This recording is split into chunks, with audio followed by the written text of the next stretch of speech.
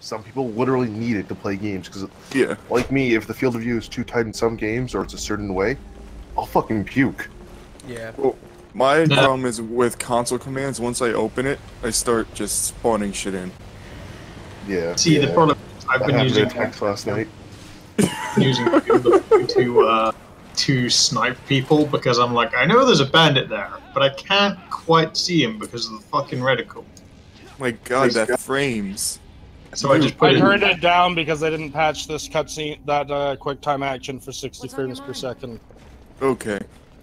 So I type in uh, Field of View 30, and then I snipe bandits from like fucking Oh, hundreds you of use it meters as how away. you Ben. Yeah, that's Yeah. kind of shady. Guys, something really weird's happening to Lydia right now. Uh, Is she mad? uh, I'll post the video later, but I think she's possessed. I'm sworn to carry your burdens. No, she's more like I'm sworn to follow around your shoulders like a fucking bird and float oh, around Man, just to with my ankles twisting around like helicopter rotors. This is Well, I mean, weird. they say helicopters fly by being so ugly it repels the ground. Lydia ain't exactly a looker. Oh man, You would dare to trust It's not that bad. Owens, but you lack it. this is You make up for it. disturbing. At least her voice lines aren't as bad as the. Uh... No, I, I, won't, I won't attack that.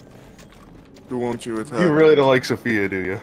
No, I like Sophia's voice actress. I just don't like how like every ten seconds she has to say something. every time she says I- something, I she says the recorder most retarded garbage.